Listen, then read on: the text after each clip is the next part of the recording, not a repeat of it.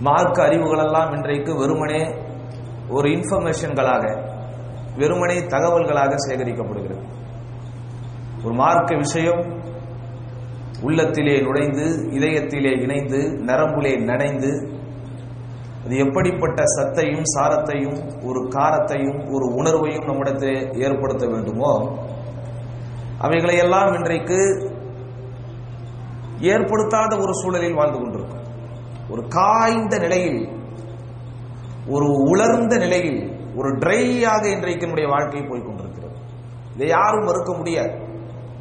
விவாதத் இபாதத் ஒரு வணக்கம் ஒரு வழிபாடு ஒரு மார்க்கத்தினுடைய செய்தி என்று வந்தால் அது எவ்வளவு ஆழமாக அகலமாக நம்முடைய உள்ளத்திற்கு ஊடுருவி ஒரு மாற்றத்தை ஏற்படுத்த வேண்டுமோ அவைகளெல்லாம் இன்றைக்கு வராமல் இருக்கிறது. நபிகள் நாயகம் சல்லல்லாஹு அலேஹி வசல்லம் அவர்கள் காலத்திலே வாழ்ந்த நபித்தோழர்கள் இந்த ஒரு அம்சம் அவர்களுடைய உள்ளத்திலே இருந்ததனால் தான் சிறப்பானவர்களாக கருதப்பட்டார்கள்.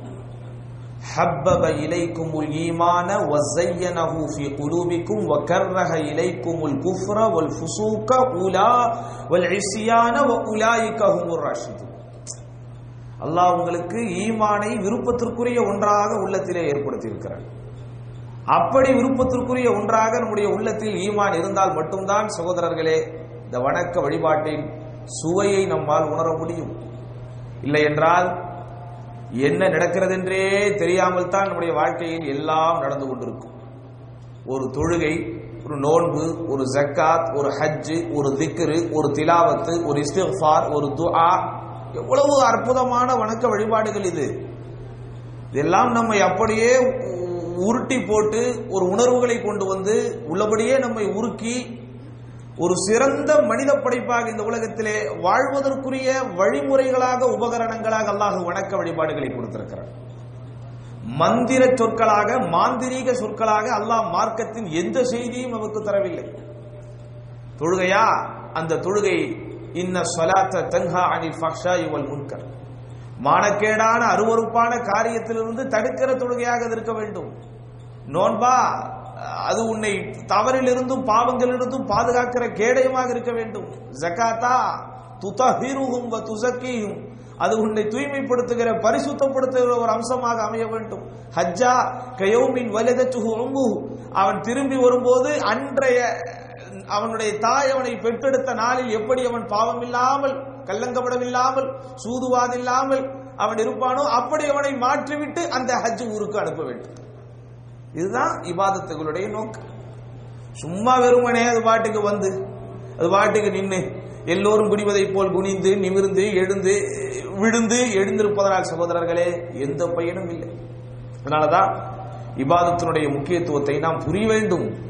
அதில் இருக்கிற அலட்சியம் அதில் இருக்கிற ஒரு சாதாரண தன்மை அதில் நாம் காட்டுகிற பொதுவோக்கு தன்மை எல்லாம் நம்மை விட்டு அகற்றப்பட்டு செய்கிற வணக்கமும் வழிபாடும் கொஞ்சமாக இருந்தால் கூட குறைவாக இருந்தால் கூட அது ஒரு நிறைவான ஒரு நன்மை அல்லாஹ்விடத்திலே நமக்கு பெற்றுத்தர வேண்டும்.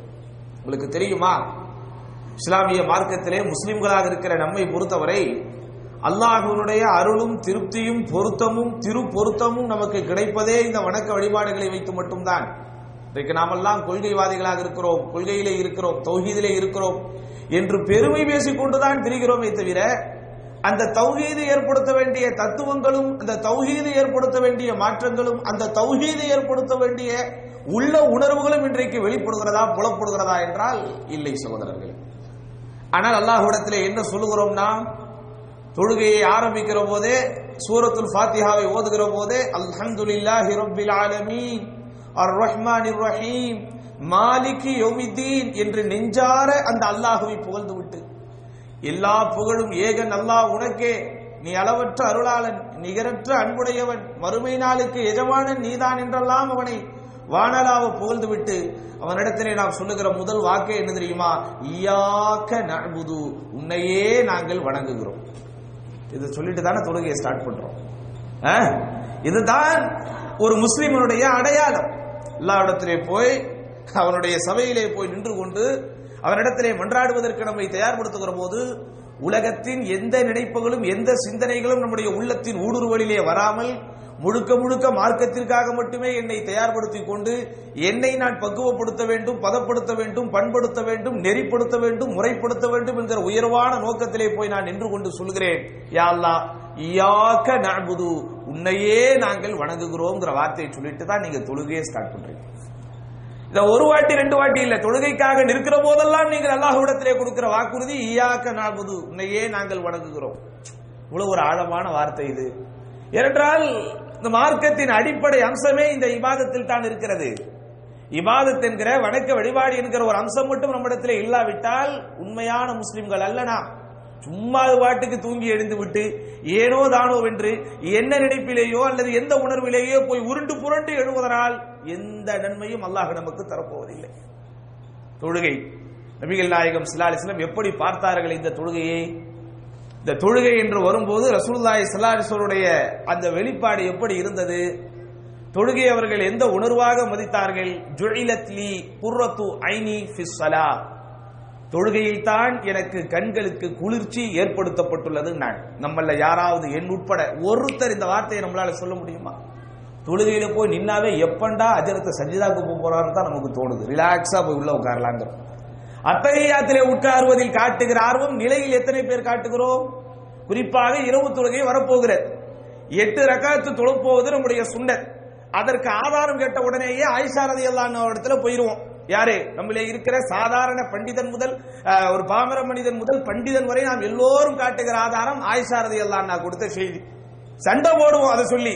ஏ எட்டு ரகாத்து தான். ஆதாரம் என்ன? ஆயிஷா ரதி அல்லாஹ் அவங்க சொன்னதை முழுசா சொல்லு. என்ன சொன்னாங்க ஆயிஷா ரதி அல்லாஹா எட்டு ரக்காத்திற்கு ஆதாரம் தேடுவதற்கு எதை நீங்கள் ஆதாரமாக காட்டுகிறீர்களோ அந்த ஆதாரத்தை செயல்படுத்துகிற விதத்தில் உண்மையிலேயே சேதாரமாகத்தான் போய் கொண்டிருக்கிறது. ஏன்?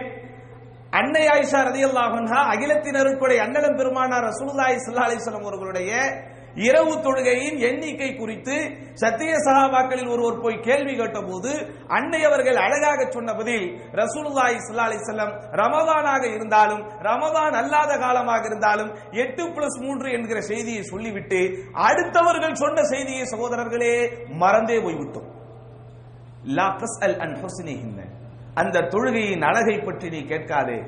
அந்த ரக்குவையும் அந்த சுஜூதிலும் ரசூலுல்லா காட்டுகிற நீளத்தை பற்றி நீ கேட்காதே. அவ்வளவு ஆழமாக அவ்வளவு நீளமாக அவ்வளவு உயர்வாக அந்த ருக்குவும் சுஜிதும் இருக்குமே. இதை நம்மிலே யாராவது செயல்படுத்துகிறோமா? தொழுகை இன்றைக்கு பள்ளிவாசலுக்கு போவதற்கு முன் பள்ளிவாசலை பற்றி ஒரு டேட்டா பேஸை இன்றைக்கு ஒவ்வொருவரும் தயார் செய்து வைக்கிறோம். எந்த பள்ளியில போனா ஷார்ட் அண்ட் ஸ்வீட்டா முடியும் பார்த்து தான் உள்ள போறோம். எந்த பள்ளியிலேயாவது ஒரு ஒரு மணி நேரம் எட்டாக்காவது தொலை வச்சுட்டாங்கன்னா இன்ஃபர்மேஷன் கொடுக்குறான். மச்சான் அங்க மட்டும் போயிடாதரா ஒன் ஹவர் தொழுகை நடக்குதுங்கிறான். எந்த பள்ளியில் ஒரு மணி நேரம் தொழுகை நடக்கிறதோ அந்த பள்ளி குறித்த செய்தியை வாட்ஸ்அப்பில் குரூப் போட்டு தான் சொல்லவில்லை. யாராவது கேட்டா அலர்ட் ஆக்கிடுவான் ஐயோ அங்க போனா அவ்வளவுதான். செத்துட்டு தான் வெளியே வரணுங்கிறான். இது ஒரு எட்டு ரக்காத்தை ஒரு மணி நேரம் தொழுவதற்கு. நான் விளையாட்டிற்கு சொல்வதாக நினைக்காதீர்கள். உண்மையிலேயே நடந்த செய்தியை சொல்கிறேன் இமாம் தொழுவதற்கு ஆரம்பிப்பதற்கு முன்பு சஃபுகளை சரி செய்து கொள்ளுங்கள் சொல்லுவார் பாத்தீங்களா? ஒருத்தர் கொடுக்கிறார் ஒரு சிக்னல் இப்படிங்கிறார். என்னது அர்த்தம் அப்படின்னா? என்ன இப்படிங்கிற எப்படின்னா என்னது? அப்படி நிப்பாட்டுங்கன்னு அர்த்தம். ரொம்ப பெருசா நீட்டிடாதீங்க தொழுகைய. ஃபர்ஸ்ட் ரக்காத்துல நிக்கிறவன் எவ்வளவு ஆர்வத்தோட எவ்வளவு வீரியத்தோட அட அல்லாங்கிற உணர்வோட உள்ள வந்து இந்த இபாதத்தினுடைய அத்துணை பாகங்களிலும் உள்ளே புகுந்து அந்த இபாதத்தினுடைய சுவையையும் அந்த இபாதத்தினுடைய நறுமணத்தையும் அப்படியே அனுபவித்து புடம்போட்ட தங்கமாய் வெளியே வருவான்னு நம்ம எதிர்பார்த்துக்கிட்டு இருந்தா மொத சஃப்ல போய் நின்னுகிட்டு அஜரத்துக்கு சிக்னல் கொடுக்கறான் இப்படிங்கிறான். ஷார்ட்டா தொலைவைங்க இந்த சலாம் வாங்கிட்டு கேப் கொடுப்பீங்கல்ல அதுல கொஞ்சம் லென்த்தா கொடுங்க. நாலு ரக்காத் முடிச்ச உடனே கொஞ்சம் டீ கேப் கொடுப்பீங்கல்ல அதை கொஞ்சம் பெருசாக்குங்க. சஜிதாக்கு போகும்போது கொஞ்சம் டைம் கூட எடுத்துக்கங்க. நிற்கும் போது மட்டும் ரொம்ப நேரம் நிக்க வச்சிடாதீங்க. இவ்வளவு டேர்ம்ஸ் அண்ட் கண்டிஷன் போட்டு தான் இந்த எட்டு ரக்காத்துக்கே இன்னைக்கு மனுஷன் வர்றான் இவ்வளவு டேர்ம்ஸ் அண்ட் கண்டிஷன்ஸ் ஷார்ட்டா தொழுகணும் எந்த இடத்துல சீக்கிரம் இமாம் ருக்குவுக்கு போவார்? இன்னும் பல இடங்களிலே பாருங்கள். அட இரவு தொழுகைன்னு வந்தாச்சு. சுண்ணத்தான தொழுகையை நிறைவேற்றி அல்லாஹ் கிட்ட நன்மை வாங்கணுங்கிற ஆர்வத்துல இஹ்லாஸ்ல வந்துட்டேன். நிறைய பேர் பாருங்கள் அல்லாஹு அக்பர் என்று சொல்லும் போது தான் தொழுகையில ஜாயின் பண்ணுவாங்க. எந்த அல்லாஹ் அக்பர்? ருக்குவோட அல்லாஹ் அக்பர். ஆனா தொழுகையினுடைய ஸ்டார்டிங் அல்லாஹ் அக்பர் தக்பீரே தகரிமா அல்லாஹ் அக்பர் தான் தொழுகையினுடைய ஸ்டார்டிங் ஆனா நிறைய பேர் திப்பு திப்பு திப்பு திப்பு ஒரு சத்தம் வரும். என்னன்னா அந்த நிலையில் நிற்கும் போது பெரிய சூறா அஜரத்து ஓதுனாருன்னா அவருக்கு அலர்ஜி அதை அவரால் ஏத்துக்க முடியாது. அங்கிட்டு இங்கிட்டு நின்றுகிட்டு என்னென்னலாம் பண்ணணுமோ எல்லாத்தையும் பண்ணிக்கிட்டு செல்போன்ல உள்ளதை பார்த்துக்கிட்டு வேணுக்கினே ஒதுவ ரொம்ப நீளமா செய்யறது. ஷேக் சொன்னாங்களே இஸ்பாகுல் உது. உதுவை நிரப்பமாக செய்யறத நம்ம அங்க மட்டும் பார்க்கலாம். ஏன்? ருக்கு போகும்போது போய் ஜாயின் பண்ணிக்கலாம். ஏன்னா நமக்கு தான் சொல்லப்பட்டுருச்சே ருக்குவை அடைந்தால் ரகத்தை அடைந்து விட்டவர் என்று. அப்ப இதெல்லாம் இவ்வளவு கணக்கு பார்த்து தான் சகோதரர்களே ஒரு இரவு தொழுகை இன்றைக்கு நிறைவேற்றப்படுகிறது. ஆனா முன்பின் பாவம் மன்னிக்கப்பட்டவர்கள் நபிமார்களுக்கெல்லாம் இறுதியாக அனுப்பப்பட்டாலும் எல்லா நபிமார்களுக்கும் தலைவர் என்று அல்லாஹுவால் புகழாரம் சூட்டப்பட்டவர்.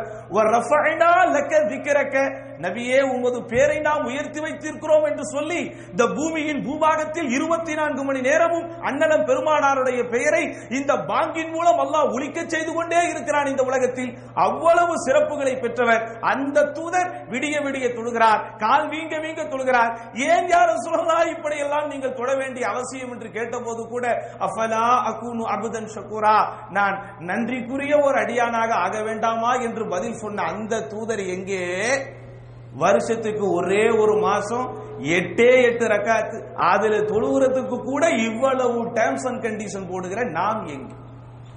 கொஞ்சம் நெஞ்சிலே கை வைத்து சொல்லுங்கள் சகோதரர்களே இத்தனை ரமதான்களை நாம் கழித்திருக்கிறோமே இவ்வளவு இரவு தொழுகைகளை கழித்திருக்கிறோமே முதல் ரக்காத்தில் இமாம் ஜமாத்தோடு இணைந்து எட்டு ரக்காத் அவர் முடிவதற்கு வரைக்கும் அப்படியே இருந்து தொழுது விட்டு கலைந்தவர்கள் எத்தனை பேர்? போயிட்டு போயிட்டு போயிட்டு போயிட்டு வர்றது. சில வயதானவர்களை இந்த நேரத்தில் பாராட்ட வேண்டும். உண்மையில் சகோதரர்களே கப்பலில் கடலிலே நங்கூரம் போட்டதை போல் அப்படியே நிற்பார்கள். வயதானவர்களை பார்க்கும்போது உண்மையிலேயே ஆச்சரியமாக இருக்கும். முதுகெலும்பு தேய்ந்தவர்கள் முட்டி தேய்ந்தவர்கள் வெந்தாடியோடு அவ்வளவு நேரம் நின்று கொண்டிருப்பார்கள். ஆனால் இளந்தாடி பிள்ளைகள் இளம் வாலிபர்கள் எட்டு ரக்கத்தை நின்று அவனால் தொழ முடியவில்லை. முட்டி தேய்ந்தவனைப் போல் போய்விட்டும் போய்விட்டும் வந்து கொண்டிருக்கிறான். இப்படியா இன்னைக்கு நம்மளத்துல இபாதத்து இருக்கணும். வயலுள்ளில் முசல்லீன் அல்லதீனஹும் அன் சலாத்திஹிம். சொல்லுங்க என்னது? சாஹூன். மாறி அல்லாஹ் சொல்றான். வயலுள்ளில் முசல்லீன் அல்லதீனஹும் அன் ஸலாத்திஹிம் சாஹூன் அட நாசம் உங்களுக்கு தொழுகையாளிகளுக்கு நாசம் உண்டாகிறது யாரவன் அல்லதீனஹும் அன் ஸலாத்திஹிம் சாஹூன் அவர்கள் தங்கள் தொழுகையில் அலட்சியமாக இருக்கிறார்கள் யாருடைய தொழுகை அது யாருடைய தொழுகை அலட்சியமாக தொழுவது என்ன நிற்கிறோம்? என்ன உணர்விலே நிற்கிறோம் அட நீ தொழுகையில் நின்று விட்டால் அல்லாஹுவோடு உரையாடி கொண்டிருக்கிறாய். இயாக்க நாபுதுவை இயாக்க நஸ்தையின் என்று அல்லாஹுவிடத்திலே இடைத்தரகர் இல்லாமல் நீ வந்து உரையாடி கொண்டிருக்கிறாய். நீ செய்கிற அந்த ஒவ்வொரு துவாவிற்கும் அல்லாஹ் மலக்குமார்களை நியமித்து கபூலியத் என்கிற அந்தஸ்தை கொடுப்பதற்குரிய மிக உயர்ந்த சிறந்த ஏற்பாட்டை ஏற்படுத்தி வைத்திருக்கிறான். அவ்வளவு அற்புதமான தொழுகையிலே போய் நிற்கிறோம். இமாம் என்று மட்டும் ஒருவர் ஏற்படுத்தப்படாவிட்டால் அல்லாஹ் அக்பர் நம்மில் நிறைய பேருக்கு தொழுகை உண்மையிலேயே தொழுகையாக இருக்காது நம்மில் நிறைய பேருக்கு வணக்கம் உண்மையிலேயே வணக்கமாக இருக்காது. செத்து போன வணக்கமாகத்தான் இன்றைக்கு இருந்து கொண்டிருக்கிறது ஆனால் ரசூலுல்லாஹி ஸல்லல்லாஹு அலைஹி வஸல்லம் உணர்வுபூர்வமான தொழுகை இங்கே உருவாக்கி கொடுத்தார்கள். உணர்வுபூர்வமான தொழுகைக்கு வழிகாட்டினார்கள். அட அந்த தொழுகையில் உள்ள உணர்வு உங்களுக்கு எந்த விதத்திலும் கலங்கப்பட்டு விட கலங்கப்பட்டு விடக் கூடாது என்பதற்காக ஒது செய்துவிட்டு நீங்கள் வந்து வந்து கொண்டிருக்கிற போது அட இமாமே தொழுகையை துவக்கி விட்டால் கூட ஓடி வராதீர்கள் அவசரம் காட்டி வராதீர்கள். அனைத்தும் சக்கீனத்து ஆற அமர அமைதியாக சக்கீனத் என்கிற பேரமைதியோடு தொழுகைக்கு வாருங்கள். காரணம் உங்களுடைய உள்ளத்தின் உணர்வில் கொஞ்சம் கூட மாசோ தூசோ பட்டு விடக்கூடாது இந்த தொழுகையை சிறப்பை நீங்கள் பெறுவதில்லை. இப்படி அங்க இருக்கு இன்னைக்கு? நோன்பு. அது இன்றைக்கு எப்படி இருக்கிறது? நோன்பு இன்றைக்கு எப்படி போய் கொண்டிருக்கிறது ஒரு நினைவு தெரிந்து இங்கே ஒருவர் நாற்பது வயதை அடைந்திருக்கிறார் என்றால் சுமார் 25 ரமதானை நிறைவு தெரிந்தவர் கழித்து விட்டார். ஐம்பது வயதை தொட்ட ஒரு பெரியவர் இங்கே இருக்கிறார் என்றால் குறைந்தபட்சம் நாற்பது ஆண்டுகள் அவர் தொடர்ச்சியாக நோன்பு வைத்திருக்கிறார். எவ்வளவு பெரிய மாற்றத்தை எதிர் உண்டாக்கி இருக்க வேண்டும்? நாற்பது வருடம் தொடர்ச்சியாக ஒரு மாதம் ஒரு குறிப்பிட்ட செயலையே நீங்கள் செய்து கொண்டிருக்கிறீர்கள் என்றால் அதிலே எவ்வளவு பெரிய பாண்டித்துவத்தை நீங்கள் பெற்றிருப்பீர்கள்? நாற்பது வருடம் ஒவ்வொரு மாதமும் ஒரு குறிப்பிட்ட தொழுகையை தவறாமல் மறவாமல் தொடர்ச்சியாக நீங்கள் செய்கிறீர்கள் என்றால் அந்த வியாபாரத்தின் ஆழமும் நுணுக்கமும் எவ்வளவு தூரம் உங்களுக்கு தெரிந்திருக்கும்? ஒரு கோர்ஸுங்க வருஷத்துக்கு ஒரு மாசம் படிக்கிறீங்க. ஆனால் நாற்பது வருடங்கள் படிக்கிறீர்கள். அந்த கோர்ஸில் எவ்வளவு பெரிய பிஹெச்டியை நீங்கள் வாங்கி இருக்க வேண்டும்? அந்த மாதிரி தானே நாற்பது வருஷம் இந்த நோன்பை வைக்கிறோம். ஆனால் அந்த நோன்பு உண்டாக்க வேண்டிய மாற்றம் இன்றைக்கு இடத்தில் இருக்கிறதா? அதே சகரு அதே இஃப்தாரு அதே இரவு தொழுகை என்று சத்தில்லாமல் சாரம் இல்லாமல் காரம் இல்லாமல் தான் இபாதத்துகள் போய் கொண்டிருக்கிறது ரசூலுல்லாஹ் சொன்னாங்க ருப்ப ஸாயிமின் லைஸ லஹு மின் ஸியாமிஹி இல்லல் ஜூ' வல் ஆத்ஷ் ورب قائم ليس له من قيامه الا السهر والتعب எத்தனையோ நோன்பாளிகள் அவர்கள் நோன்பின் பலனாக இந்த நோன்பின் கணக்கிலே அவர்கள் பெறுவதெல்லாம் பசியும் தாகமும் தான். எத்தனையோ இரவு நேரத்திலே வணங்கக்கூடியவர்கள் அந்த வணக்கத்தின் பரிசாக பதிலாக கணக்காக அவர்கள் பெறுவதெல்லாம் களைப்பும் தூக்கமின்மையும் தான். இது ரசூல்லா யாருக்கு சொன்னாங்க? விடிய விடிய இரவு தொழுகையை தொழுதவர்களுக்கு நம்மை போல் அரை மணி நேரம் மட்டுமே இரவு தொழுகையை தொழுதவர்களுக்கு அல்ல. அவங்களுக்கே அலட்சியம் கொஞ்சம் இருந்தால் அவர்களுக்கே இஹ்லாசிலே கொஞ்சம் குறைபாடும் குளறுபடியும் வந்துவிட்டால் அதற்குரிய பலனை அதற்குரிய பயனை அவர்களே பெற முடியாது என்று பெருமானார் சல்லா அலிஸ்லம் சொல்லி இருக்கிற போது அன்பு சகோதரர்களே மௌட்டீகத்திலும் லௌகீகத்திலும் உலகமயமாக்கலிலும் மூழ்கி கொண்டிருக்கிற நம்மை போன்றவர்களின் இபாதத்துகளுடைய நிலைமை என்ன? சும்மா அல்லாஹ் கடமையாக்கி கொடுத்திருக்கிறானா நோம்ப? சும்மா அல்லாஹ் கொடுத்து விட்டானா? யாயுகல்லதீன ஆமனு குத்திப அலைக்கும் சியாமு கமா குத்திப அலல்லதீன மின் கமலிக்கும் அல்லாஹுவால் கடமையாக்கப்பட்ட இவாதத்துகளிலேயே உங்களுக்கு முன்வாழ்ந்தவர்கள் மீது கடமையாக்கப்பட்டதை போலவே உங்களுக்கும் கடமையாக்கப்பட்டது என்கிற வார்த்தையை எல்லாம் சொல்லி அறிமுகப்படுத்தி சொன்ன ஒரு அற்புதமான இவாதத் அல்லவா இது? என்ன நோக்கமா இருக்கணும்? லஅல்லக்கும் தத்தகூன். இதன் மூலம் நீங்கள் இறையச்சத்தை பெறலாம். என்ன இறையச்சத்தை நாம் பெற்றுவிட்டோம்? சொல்லுங்க பாப்போம். போன வருடம் நோன்பை நான் துவங்குவதற்கு முன்பு என்னிடத்தில் இந்த கெட்ட பழக்கம் இருந்தது. அந்த நோன்பை முடித்தேன். அந்த கெட்ட பழக்கம் எங்கே போனதென்றே தெரியாது என்று யாராவது எழுதி கொடுக்க முடியுமா? போன வருடம் நோன்பை துவங்குவதற்கு முன்பு வரைக்கும் என்னுடைய வியாபாரத்தில் கொஞ்சம் கலப்படம் இருந்தது கொஞ்சம் மாசும் தூசும் இருந்தது. ஆனால் அந்த நோன்பு எனக்கு ஏற்படுத்திய மாற்றம் இந்த நோன்பிலே நான் பெற்ற இரையச்சம் இந்த வியாபாரத்தை எனக்கு தூய்மையாக்கி கொடுத்தது என்று யாரால் சொல்ல முடியும்? அட போன நோன்பை நான் துவங்குவதற்கு முன்பு வரைக்கும் கொஞ்சம் ஷார்ட் டெம்பராக இருந்தேன். ஆத்திரப்படுவேன் கோபப்படுவேன் முன்கோபக்காரனாக இருந்தேன். எரிஞ்சு எரிஞ்சு விடுவேன் ஆனால் இந்த நோன்பிலே நான் பெற்ற பக்குவம் இந்த நோன்பிலே நான் பெற்ற பண்பாடு இந்த நோன்பு என்னை பதப்படுத்தி பக்குவப்படுத்தி பண்படுத்தி நெறிப்படுத்தி முறைப்படுத்தி என்னை அந்த கோபம் என்கிற பண்பிலிருந்தே அப்புறப்படுத்தி அற்புதப்படுத்தி விட்டது என்று யாரால் சொல்ல முடியும்? அப்படி சொன்னாதான் விவாதத்தில் கவனமாக நீங்கள் இருக்கிறீர்கள் என்று அர்த்தம். அப்படி செஞ்சாதான் அந்த நோன்பிலே பலன் இருக்கிறது பயன் இருக்கிறது என்ற அர்த்தம். அப்படித்தான் அந்த நபி தோழர்களிடத்திலே இருந்தது. எல்லோரும் அன்றாடம் செய்து கொண்டிருக்கிறோம். அது இன்றைக்கு நம்மிடத்தில் எப்படி இருக்கிறது? திக்கரை குறித்து ரசூல்லா ஸல்லல்லாஹு எப்படி நமக்கு அறிமுகப்படுத்தினார்கள்? அத்துன்யா மல்ஊனத்துன் மல்பூனும் மல்ஊனுன் மா இல்லா திக்ருல்லாஹ்.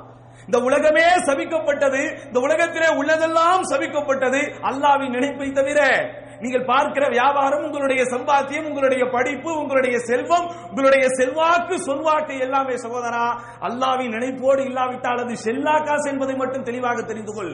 உன் மனைவி உன் மக்கள் உன் சொந்தம் உன் பந்தம் உன் உறவு உன் வரவு எல்லாமே அல்லாவின் நினைப்போடு இல்லாவிட்டால் அது பத்து பைசாவிற்கு பெறாது. எதையும் அதனால் தான் அல்ல தொழுகை என்கிற கடமையை சொல்லும் போது அகிமி சலாச்சலி விக்கிரி அட என்னை நினைவு கூறும் விதத்திலே தொழுகை நிலைநாட்டுங்கள். சும்மா சும்மா போய் எந்திரத்தனமாக நின்று விட்டு வருவதில் அல்லாஹுவிற்கு எந்த தேவையும் இல்லை என்பதை மட்டும் தெளிவாக புரிந்து கொள்ளுங்கள். எப்படி? எந்திரத்தனமாக போய் நின்று விட்டு வருவதனால் அல்லாஹுவிற்கு எந்த தேவையும் இல்லை என்பதை தெளிவாக தெரிந்து கொள்ளுங்கள். ரசூலுல்லாஹி ஸல்லல்லாஹு அலைஹி வஸல்லம் சொன்னார்கள் மஸலுல்லதி யذ்குரு ரப்பஹு வல்லதி லா யذ்குரு ரப்பஹு கமஸலில் ஹய்யி வல் மையித்னாங்க அல்லாஹுவை நினைவு கூறுபவனுக்கும் அல்லாஹுவை நினைவு கூறாதவனுக்கும் இடையே இருக்கிற வித்தியாசம் என்பது உயிரோடு வாழ்கிற ஒருவனுக்கும் செத்து போன பிணத்திற்கும் இடையே இருக்கிற உதாரணம் நாங்க அப்படிப்பட்டது திக்ரு. அவ்வளவு உயர்ந்தது திக்ர். அலா பி திக்ரில்லாஹி இன்னுல் குலூப். அட தெளிவாக தெரிந்து கொள்ளுங்கள். உங்கள் உள்ளங்களுக்கே உளமருந்தாக உங்கள் மனங்களின் ரணங்களுக்கே மாமருந்தாக நான் வைத்திருப்பது என்னை நீங்கள் நினைப்பது என்று கருப்பொறையில் அல்லாஹ் சொல்லுகிறான். அந்த திக்கிரி இன்னைக்கு எப்படி இருக்குது? தொழுகை முடித்ததற்கு பிறகு ஓத வேண்டிய திக்கர்கள் என்று எழுதி போட்டிருக்கிறார்களே. எத்தனை ஆண்டுகள் இதை பார்த்து பார்த்து படித்திருக்கிறீர்கள்? எத்தனை பேருக்கு அதை தவறே இல்லாமல் மனப்பாடம் வந்திருக்கிறது? சுபஹானல்லா சுபஹானல்லா என்பதை கூட சகோதரா கொஞ்சம் சிந்திக்காமல் கடகட என்று உன் விரல்களை நகர்த்தினால் சுபஹானல்லா என்பது கூட சும்மா அல்லா என்றாகிவிடும். நரூது பில்லா. சுபல சுபல சுபல சுபல சுபல சுபல சுபல சுபல என்ன என்ன பிரயோஜனம் இதிலே? என்னங்க பிரயோஜனம்? தொழுது முடித்தவுடன் கண்ணால் கண்டிருக்கிறேன். ஒரு கையில் திக்கர் இன்னொரு கையில் செல்போன். ஒரு கையில் இறைவேதம் மறு கையில் நபிபோதனம் நம்ம அனிமா பாடின மாதிரி ஒரு கையில் திக்கர் இன்னொரு கையில் செல்போன். எப்படிங்க அந்த திக்கரில் காரம் இருக்கும்?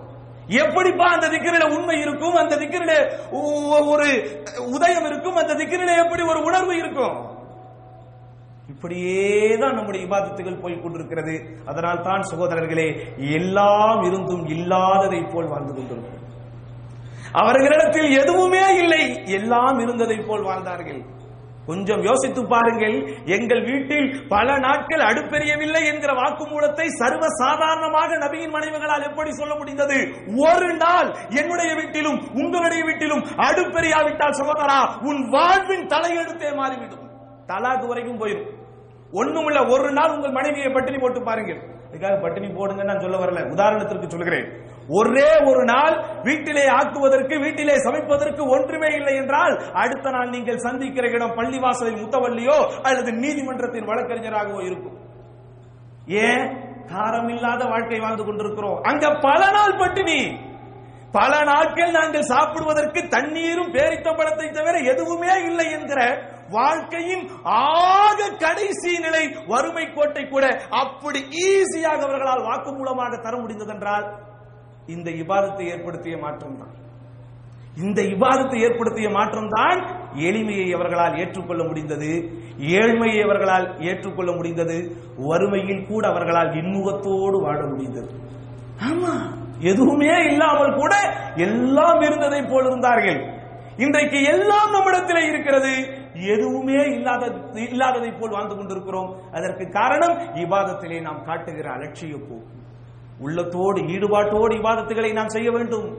குரானை ஓதுகிற போது அது எவ்வளவு பெரிய இபாதத்? குரானை ஓதுகிற திலாவத் எவ்வளவு உயர்ந்த ஒன்று? அட ஹைருக்கும் மன் தஅல்லமல் குர்ஆன வ அல்லமஹு. உங்களில் சிறந்தவரே குரானை தானும் கற்று பிறருக்கு கற்பிப்பவர் தான் என்கிற மாபெரும் சிறப்பை ரசூலுல்லாஹி ஸல்லல்லாஹு அலைஹி வஸல்லம் கொடுத்தார்களே. குரானை எத்தனை பேர் இன்று வரைக்கும் கற்றுக் கொண்டிருக்கிறோம்? இருக்கிற வார்த்தைகளின் அர்த்தங்களை தெரிந்து கொள்வதற்கு என்ன முயற்சிகளை எடுத்திருக்கிறோம்? இல்ல எங்களுக்கு அரபி தெரியாது. அதை யார் வேணாலும் சொல்லலாம் நீங்க சொல்லக்கூடாது. இப்படிதானா? அரபி எங்களுக்கு தெரியாது என்கிற வார்த்தையை அயல் நாட்டிலே இருப்பவர்கள் சொல்லலாம் இந்தியா போன்ற நாட்டிலே இருப்பவர்கள் சொல்லலாம் ஏன் இலங்கையிலே உள்ளவர்கள் கூட சொல்லலாம். ஆனால் இந்தியாவிலிருந்தும் இலங்கையிலிருந்தும் இங்கே வந்து பன்னெடுங்காலம் இருக்கிற நம்மை போட்டு யாரும் சொல்ல முடியாது. வரும்போது ஒன்றுமே தெரியாமல் வந்தோம். ஆனால் இன்றைக்கு எவ்வளவு லாபகமாக நம்மால் அரபு பேச முடிகிறது?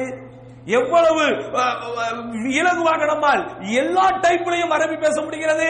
நேற்று கூட ஒரு உரையிலே குறிப்பிட்டு ஒரு எஜிப்சியனை பார்த்தால் அவனை போன்றே நம்மால் பேச முடிகிறது. ஒரு யமனியை பார்த்தால் அவருடைய பாணியில் நம்மால் பேச முடிகிறது. ஒரு சவுதியை பார்த்தால் அவருக்கு ஏற்றாற்போல் நம்மால் பேச முடிகிறது.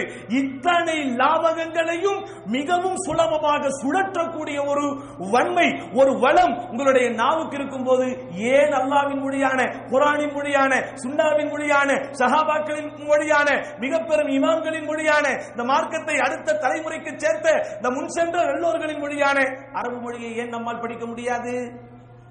அலட்சியம். எல்லாவற்றிலும் அலட்சியம். சரி ஜக்காத் இன்றைக்கு எப்படி இருக்கிறது? உயிரோட்டமாக இருக்கிறதா? அட ஜக்காத் நபிகள் நாயகம் சல்லா அலி செல்லம் அதற்குரிய டெபினேஷனை சொல்லுகிற போது சொன்னார்கள் தூஹது மின் அக்னியாஇஹிம் வ துரத்து இலா ஃபுகராஇஹிம் பணக்காரர்களிடமிருந்து வசூலிக்கப்பட்டு ஏழைகளுக்கு அது வழங்கப்பட வேண்டும் என்று சொன்னார்கள். என்ன அர்த்தம்? ஜக்காத்தை மட்டும் ஒரு சமுதாயம் சரியாக முறையாக நெறியோடு அமுல்படுத்தினால் இந்த சமுதாயத்தில் வறுமை என்பதே இருக்காதே. ஏன்? ஜக்காத்து கொடுக்கிற பணக்காரர்களுடைய சமுதாயத்திலே இல்லையா? லட்சக்கணக்கிலே கோடிக்கணக்கிலே செல்வங்களை கொண்டிருக்கிற செல்வந்தர்கள் தனவந்தர்கள் நம்முடைய சமுதாயத்திலே இல்லையா? எல்லாம் இருக்கிறோம். ஆனால் அலட்சியம். அலட்சியம். ஒவ்வொரு ரமதான் வரும்போதும் பில் புக்கை தூக்கி கொண்டு யாராவது நல்ல காரியங்களிலே மதரசாக்களும் எத்தீம்கானாக்களும் நடத்தக்கூடியவர்கள் நம்முடைய பொருளாதாரத்தை வசூலிப்பதற்காக வரும்போது அவர்களுக்கு கொடுக்கக்கூடிய நூறு ரூபாயில் நமக்கு வரக்கூடிய ஆனந்தம் என்னவோ சக்காத்து கடமையே முடித்து விட்டதை போல் உணர்கிறோம். அப்படியா சக்காத்து அப்படியா ரசூலுல்லாஹி ஸல்லல்லாஹு அலைஹி வஸல்லம் கிட்ட ஜகாத்தை கடமையாக்கினார்கள்? ஹுதுமின் அம்வாலிஹிம் சதகா துதஹிருஹும் வ துஸக்கிஹிம். நபியே அவர்களிடமிருந்து ஜக்காத்தை நீங்கள் எடுங்கள். அது அவர்களை தூய்மைப்படுத்த வேண்டும். அது அவர்களை பரிசுத்தப்படுத்த வேண்டும். எங்கெங்க படுத்துது? ஒவ்வொரு முறையும் தர்மம் செய்யும் போது ஒரு ஆணவம் தான் வருகிறது. ஒவ்வொரு முறையும் தர்மம் செய்யும் போது ஒரு மிதப்பு தான் வருகிறது. ஒவ்வொரு முறையும் தர்மம் செய்யும் போது வாங்குபவனை பார்த்த ஒரு ஏளன சிந்தனை தான் வருகிறது. நான் கொடுக்கிற தர்மம் எங்கே என்னை பதப்படுத்துகிறது? எங்கே என்னை பக்குவப்படுத்துகிறது? எங்கே என்னை பண்படுத்துகிறது? என்ன அர்த்தம்? பிசிக்கலாக கொடுக்கிறோம் அவ்வளவுதான். எடுத்து கொடுக்கிறோம் அவ்வளவுதானே தவிர அதிலே உள்ளே இருக்க வேண்டிய அந்த இன்கிரீடியன்ஸ் இன்றைக்கு இல்லை.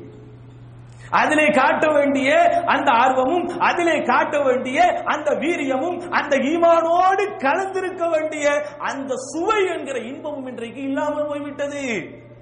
ஆனால் ரசூலுல்லாஹி ஸல்லல்லாஹு அலைஹி காலத்தில் அப்படி அல்ல. ஒரு சின்ன தங்கத்துண்டு வீட்டிலே இருந்தால் அது தொழுவும் போதே ஞாபகத்திற்கு வந்தால் கூட தொழுது முடித்தவுடன் ஓடிப்போர் இதை எடுத்து கொடுத்து இன்பம் கண்டார்கள் லந்தனாலும் பிர்ர ஹத்தா துன்ஃபிகு மிம்மா துஹிப்பூன். நீங்கள் விரும்புகிற செல்வத்தை கொடுக்காதவரை உங்களுக்கு முழுமையான நன்மை பெற பெற முடியாது என்கிற வசனம் இறங்கிய ஓடும். தான் விரும்பிய ஒரு மரத்தை அல்ல தான் விரும்பிய ஒரு மரத்தின் கனியை அல்ல தான் விரும்பிய ஒரு தோட்டத்தையே தூக்கி கொடுக்கிற எண்ணம் அவர்களுக்கு எப்படி வந்தது? அவர்கள் அதை உள்ளபடியே உண்மையாக ஏற்றார்கள். மார்க்கத்தின் ஒவ்வொரு செய்தியும் அவர்களுக்கு வரும்போது இங்கே வாங்கினார்கள். ஆனால் நாம் இங்கே வாங்குகிறோம் அல்லது இங்கே வாங்குகிறோம். ரெண்டுக்கு வித்தியாசம் இருக்கு. மார்க்கத்தின் ஒரு செய்தி வரும்போது அது எப்படி இங்கு வரக்கூடியது? இன்புட் எங்க போனோம்? நேரா இங்க போனோம். உள்ளத்திற்கு போய் அது ஒரு ரசாயன மாற்றத்தை ஏற்படுத்த வேண்டும். ஆனால் நமக்கு வரக்கூடிய செய்தி பூரா இங்க போகுது. எது வந்தாலும் இன்றைக்கு கால்குலேஷன் எதையெல்லாம் கணக்கு போடக்கூடாதோ எதை குறித்தெல்லாம் கணக்கீடும் கணிப்பீடும் செய்யக்கூடாதோ எல்லாவற்றையும் குறித்து இன்றைக்கு கணிப்பீடு செய்கிற ஒரு ஒரு இயந்திரத்தனமான வாழ்க்கைக்கு நம்மை நாம் ஒரு உலோகத்தனமான வாழ்க்கைக்கு நாம் நம்மை தயார்படுத்தி விட்டோம். சிரித்தால் கூட யோசித்து சிரிக்கிறோம். இந்த சிரிப்பினால் ஏதாவது லாபம் வருமா என்று. பார்த்தால் கூட மிகவும் கவனமாக பார்க்கிறோம். இந்த பார்வையினால் ஏதாவது ஒரு லாபம் வருமா என்று. ஒருவனோடு அமர்ந்து அஸ்ஸலாமு அழைக்கும் என்று சொல்லுகிற அந்த சலாத்தின் சப்தம் கூட பொருளாதாரத்தின் தன்மையை நிர்ணயிக்கிறது. பணக்காரன் ஒருவனை பார்த்து விட்டால் அஸ்ஸலாமு அழைக்கும் என்று வாய்ப்பிழக்க சலாம் சொல்லுவது. ஏழையும் பாழையும் பார்த்து விட்டால் அழைக்கும் என்று சத்தமே இல்லாமல் இது நடக்கிறதா இல்லையா? நான் மிகைப்படுத்தி சொல்லுகிறேன் என்று நினைக்காதீர்கள். அஸ்ஸலாமு அழைக்கும் என்று பணக்காரன் ஒருவன் கையை கொடுத்தால் அவன் கையோடு சேர்த்து அவனை பற்றிக் கொள்வது ஏழையும் பாழையும் அஸ்ஸலாம் அழைக்கும் என்று ஆர்வத்தோடு கை கொடுத்தால் அவன் விரல் நுனியை கூட தொடுவதை யோசிக்கக்கூடியவர்கள் எத்தனை பேர் இன்றைக்கு வாடுகிறார்கள் இதா வாழ்க்கை. இதா வாழ்க்கை. இதற்கு எதற்கு இஸ்லாம்? இதற்கு எதற்கு ஈமான்? இப்படி வாழ்வதற்கு பேரா சகோதரர்களே தீன். இப்படி வாழ்வதற்காகவா அல்லாஹ் நமக்கு நாளைக்கு சொர்க்கத்தை கொடுத்து விட போகிறான் என்று நினைக்கிறீர்கள்? அல்லாஹ் சுப்ஹானஹு சொர்க்கத்தை யாருக்கு வைத்திருக்கிறான்? அவனுடைய கருணையை யாருக்கு வைத்திருக்கிறான்? அவனுடைய திருப்தியை அவனுடைய பொருத்தத்தை யாருக்கு வைத்திருக்கிறான்? உலகத்திலே வாழுகிற மனிதர்களில் யாரெல்லாம் இறைவனை உண்மையாக நேசித்தார்களோ உண்மையாக அல்லாஹுவின் மீது அன்பு அன்பு கொண்டார்களோ? அஹ், ஆமனு யார் இந்த உலகத்தில் ஈமான் கொண்டவர்களாக வாழ்கிறானோ அவன் அல்லாஹுவை கடுமையாக நேசிக்கக்கூடியவனாக இருப்பான். மனைவியை நேசிப்பதை விட மக்களை நேசிப்பதை விட பதவியை நேசிப்பதை விட அவன் வருமானத்தை நேசிப்பதை விட அவன் சேமிப்பை நேசிப்பதை விட மக்களின் மூலம் அவனுக்கு பெறக்கூடிய அங்கீகாரத்தை நேசிப்பதை விட அல்லாஹுவை அவன் நேசிப்பான். அவனுடைய ஈமானுக்குத்தான நாளைக்கு அல்லாஹுவிடத்தில் கனப்புரிமானம் அவனுடைய ஈமானுக்குத்தான் நாளைக்கு அல்லாஹ் சுப்ஹானஹு நன்மையை தரப்போகிறான். இப்படியே கணக்கு போட்டு பாருங்கள் சகோதரர்களே எந்த இபாதத்தாவது நம்மிடத்தில் ஈரத்தோடு இருக்கிறதா என்று. பிரார்த்தனை இன்றைக்கு எப்படி இருக்கிறது? கையை தூக்குவதும் தெரிவதில்லை கையை கீழே ஓடுவதும் தெரிவதில்லை. என்ன சில பேருக்கு துவாக்களை திரும்ப திரும்ப செய்து செய்து பாடமாகி பாடமாகி மனப்பாடம் செய்த செய்யுளை எப்படி நம் வீட்டு சின்ன பிள்ளை ஒப்பிக்குமோ? ரைம்ஸை எப்படி? ஆங்கில பாடல்களையும் ஜானி ஜானி ஜானி எஸ்மாப்பாவை எப்படி நம்முடைய குழந்தைகள் கொஞ்சம் அப்படியே சொல்லி சொல்லி பழகிவிட்டு சொல்லுகிறதோ அப்படி இன்றைக்கு கையை தூக்கினாலே துனியா. யா அதை தாயாள்லா அல்லா இதை தாயா அல்லா பணத்தை தாயா அல்லா அதை தாயா அல்லா ஆரோக்கியத்தை தாயா அல்லா அழகான மனைவிகளை தா மனைவியை தா என்று தான் கேட்டுக்கொண்டிருக்கிறோமே தவிர எத்தனை பேர் கையை தூக்கிவிட்டால் யாழ்லா என்னுடைய பாவங்களை முழுமையாக மன்னித்து விடு. யாழ்லா உன்னுடைய சொர்க்கத்திற்குரிய வழிகாட்டுதலை எனக்கு தந்துவிடு ஆழமான அகலமான பிரார்த்தனைகள் எங்கே சகோதரர்களே? உணர்வான உளப்பூர்வமான பிரார்த்தனைகள் எங்கே? நபிகள் நாயகம் சல்லல்லா செல்லும் பிரார்த்தனைக்காக பயன்படுத்திய வார்த்தைகளை எல்லாம் பார்க்கிற போது அவ்வளவு ஆச்சரியமாக இருக்கும் அகிலத்தின் அருட்படை இப்படி எல்லாம் கேட்டிருக்கிறார்களே. அட அகிலத்தின் அருட்கொடை அண்ணன பெருமானார் பொறுமையின் பொக்கிஷம் மனிதகுல மாணிக்கம் எதையும் தாங்கும் இதயம். சொர்க்கத்திற்காகவே படைக்கப்பட்டவர் முதலில் சொர்க்கம் நுழையக்கூடிய பாக்கியம் பெற்றவர். எல்லா நபிமார்களுக்கும் இறுதியில் வந்தாலும் எல்லோருக்கும் தலைவர் என்று இறைவனால் பாராட்டப்பட்டவர் இவ்வளவு பிரார்த்தனையை செய்திருக்கிறார்களே. اللهم إني أسألك من الخير كله عاجله وآجله ما علمت منه وما لم أعلم ஒரே ஒரு துவாவை மட்டும் சொல்கிறேன் துவாவில் நமக்கு இருக்கிற அலட்சியம் போக வேண்டும் என்கிற காரணத்திற்காக யா அல்லாஹ் உன்னிடத்தில் எல்லா சகல நன்மைகளையும் கேட்கிறேன் அந்த நன்மைக்கு நீ எனக்கு தற்போது வைத்திருக்கிற அல்லது எதிர்காலத்திலே வைத்திருக்கிற இந்த உலகத்திலே வைத்திருக்கிற மறுமையில் வைத்திருக்கிற மா அலிம்து மின்ஹு வமாலம் அலம் நான் நன்மையாக எனக்கு அறிந்து வைத்திருக்கிற நான் நன்மையாக எனக்கு அறியாமல் வைத்திருக்கிற நன்மையெல்லாம் உன்னிடத்தில் கேட்கிறேன்.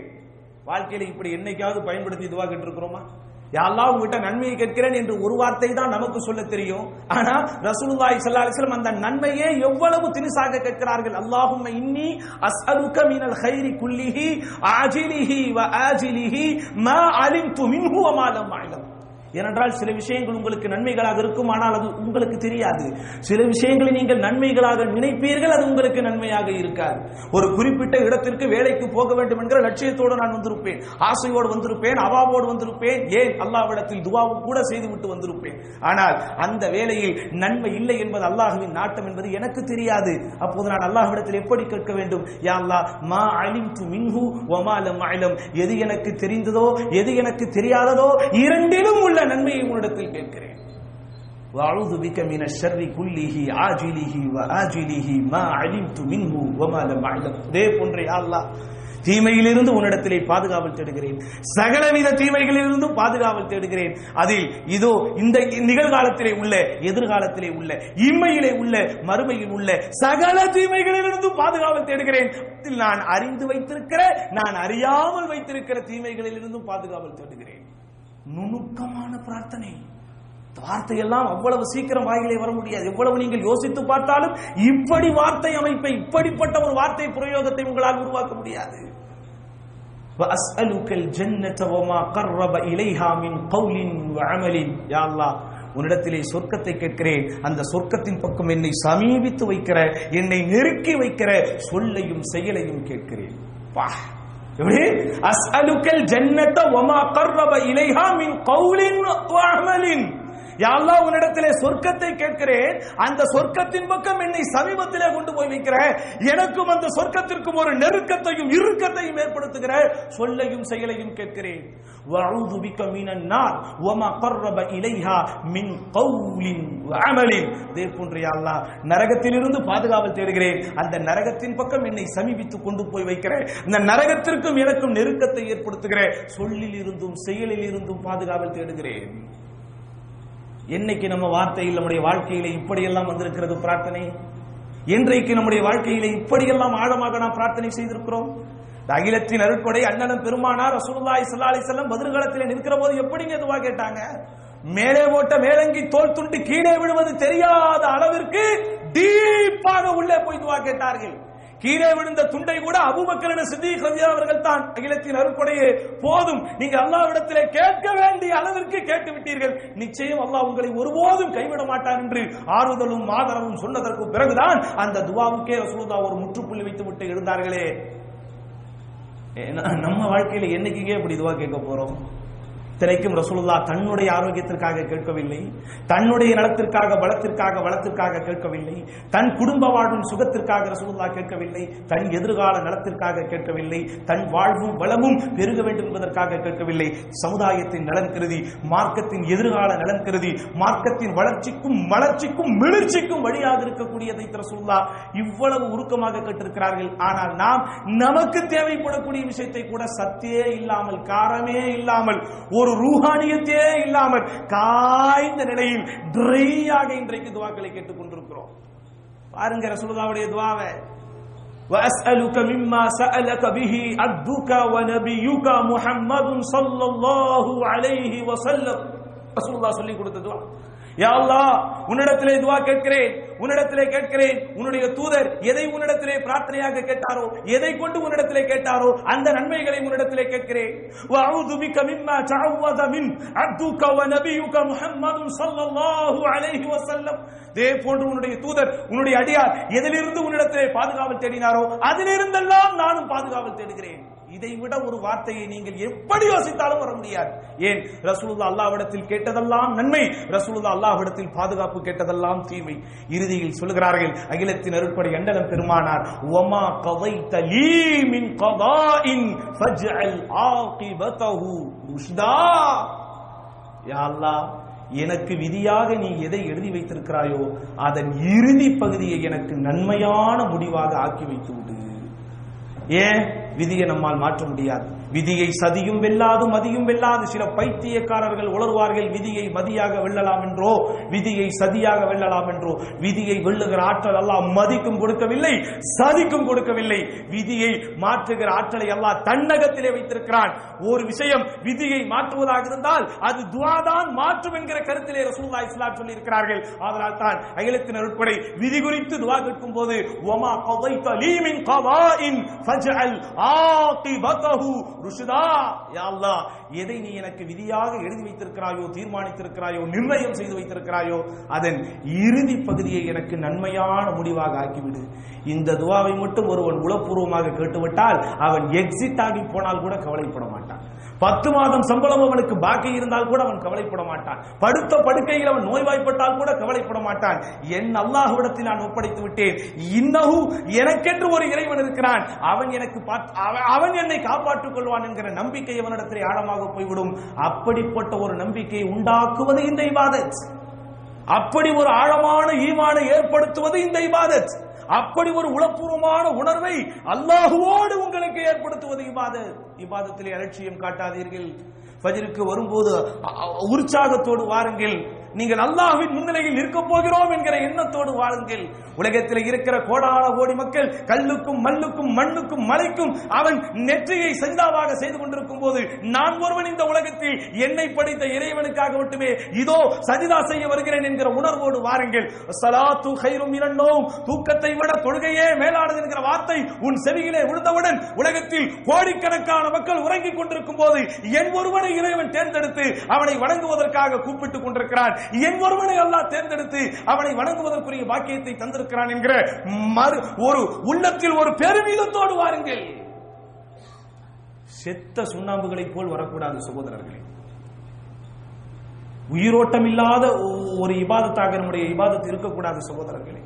தொழுகையின் ஆரம்பத்தில் இருந்து இறுதி வரை தொழுகை தொழுகையினுடைய முறை அழகாக சொல்லித் தரப்பட்டது ஏன் ருக்குவிலே நீங்கள் இருக்கும்போது உங்களுடைய முதுகெலும்பு நேராக இருக்க வேண்டும் என்று சொல்லித் தரப்பட்டிருக்கிறது சஜிதாவிலும் இந்த பிற தொழுகையின் அமைப்புகளில் நீங்கள் இப்படி கூடு விடுவதைப் போல் இல்லாமல் நேராகவும் சீராகவும் இருக்க வேண்டும் என்று ஏன் சொல்ல சொல்லி சொல்லித் தரப்பட்டிருக்கிறது அப்போதுதான் அதிலே உங்களுக்கு ஒரு உணர்வு வரும். அப்போதுதான் அதிலே நீங்கள் கவனமாக தொழுகிறீர்கள் என்ற அர்த்தம். ஏனோ தானோ என்று அலட்சிய போக்கோடு உன் தொழுகை அல்ல. உன் தொழுகையின் ஒரு சின்ன ருக்குனு கூட அமைந்து விடக்கூடாது என்பதில் சொல்லலாம் தெளிவாக இருந்தார்கள்.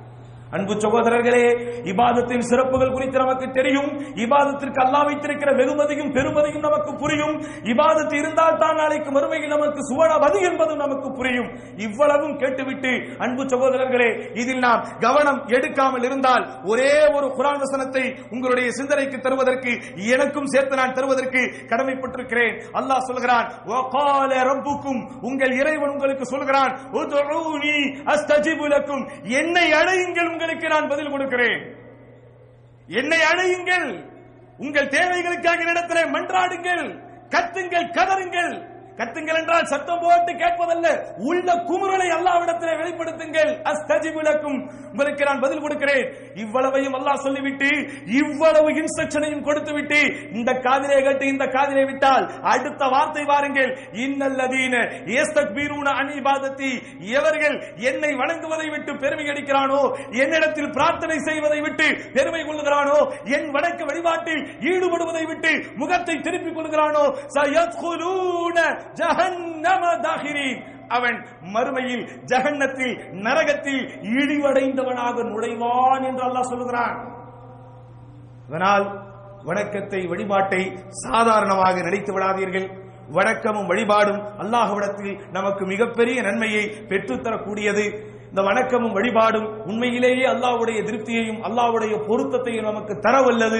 அதனால் தான் சத்திய சகாவாக்கள் எல்லா விஷயத்திலும் மார்க்க நினைப்போடு இருந்தார்கள். ஒரே ஒரு செய்தியை இறுதியாக உங்களுக்கும் எனக்கு வசியத்தாக சொல்லி முடிக்கிறேன். எந்த அளவிற்கு சத்திய சகாபாக்களின் சிந்தனை முழுக்க முழுக்க மார்க்கமாக இபாதத்தாக இருந்திருக்கிறது என்பதற்கு ஒரே ஒரு உதாரணம் உங்களுக்கு தெரியும். சஹரின் சட்டம் குறித்து வரக்கூடிய ஒரு செய்தி. ஜெய்தி பின் சாபித் ரதியல்லாஹு நபிகள் நாயகம் ஸல்லல்லாஹு அலைஹி வஸல்லம் அவர்களோடு சஹர் செய்கிறார்கள். சகர் முடித்ததற்கு பிறகு தொழுகைக்கு போகிறார்கள். தொழுகை முடிந்ததற்கு பிறகு இந்த செய்தியை அறிவிக்கிற அனஸ் மாலிக் ரதியல்லாஹு அவர்களிடத்திலே சஹாபாக்கள் கேட்கிறார்கள். ரசூலுல்லாஹி சல்லா அலி செல்லம் சகரை முடித்துவிட்டு தொழுகைக்கு போனார்களே. அந்த சகரின் முடிவுக்கும் அந்த தொழுகையின் துவக்கத்திற்கும் இடையே எவ்வளவு கால அளவு இருந்தது? இது கேள்வி. இதுக்கு நம்மளா இருந்தா என்ன பதில் சொல்லியிருப்போம்? ரெண்டு பிளேட்டு கட்டுற அளவுக்கு எவ்வளவு நேரமோ அவ்வளோ அல்லது பத்து இட்லி சாப்பிட்டா எவ்வளவு நேரமோ அவ்வளவு. அல்லது இந்த தெருவில் இருந்து அந்த தெரு வரைக்கும் போயிட்டு வந்தா எவ்வளவு நேரம் ஆகுமோ அவ்வளோ இப்படி சொல்லியிருப்போம். ஏன்னா அவங்க கேட்டது கால அளவு. அவர்கள் கேட்டது டைம் டியூரேஷன் கால அளவை தான் கேட்டார்கள். ஆனால் அந்த கால அளவைக்கு கூட பதில் சொல்லும் போது என்னங்க சொன்னாங்க? அனசரதி அல்லாஹு ஐம்பது குரான் வசனங்கள் ஓதினால் எவ்வளவு நேரம் எடுக்குமோ அவ்வளவு நேரம் தான் அந்த சகரின் முடிவுக்கும் தொழுகையின் துவக்கத்திற்கும் இருந்தது. எப்படி? ஒரு நேரத்தை குறித்து உலகத்தோடு தொடர்புடைய ஒரு செய்தியை கேட்டால் கூட அதற்குரிய பதிலை சத்திய சகாபாக்கள் மார்க்கத்தோடு தொடர்புபடுத்தி சொன்னதனால் தான் அவர்களுடைய இபாதத்திலும் வணக்கத்திலும் வழிபாடிலும் ஒரு சத்தும் சாரமும் வீரமும் ஒரு வீரியமும் இருந்தது. ஆனால் நாம் மார்க்கத்திலே கூட உலகத்தை எதிர்பார்க்கக்கூடிய ஒரு விதமான மனப்போக்கு நம்மிடத்திலே வந்துவிட்டால் மார்க்க பிரச்சாரம் செய்யும் போது கூட ஏதாவது உலகத்தின் தகவல்கள் சொன்னால்தான் நமக்கு அந்த பயானே நன்றாக இருக்கிறது. ஒரு பயானை பற்றி கமெண்ட் கொடுக்கும் போது கூட வெறுமனே காலல்லா கால ரசூல்லா என்று சொன்னால் பல பேர் இன்றைக்கு விரும்புவதில்லை. அகைதா மன்ஹஜ் என்கிற அந்த தலைப்பை குறித்து பேசினால் பல பேருக்கு அது கசக்கும் காயாக இருக்கிறது. எங்க? அட பள்ளிவாசலுக்கு வந்திருக்கிறோம். முழுக்க முழுக்க அல்லாவை பற்றியே சிந்திக்கிற இடம். அங்கே வந்தால் கூட உலகத்தையும் உலக விவகாரங்களையும் எதிர்பார்க்கிற மனோநிலையில் இருக்கிற நாம் எங்கே? அட உலகத்தை பற்றி பேசும்போது கூட மார்க்கத்தை கொண்டு வந்து உழைத்த அவர்கள் எங்கே? அதனால் அன்பு சகோதரர்களே மார்க்கத்தின் விஷயங்களை கேட்பதோ பேசுவதோ பெரிதல்ல.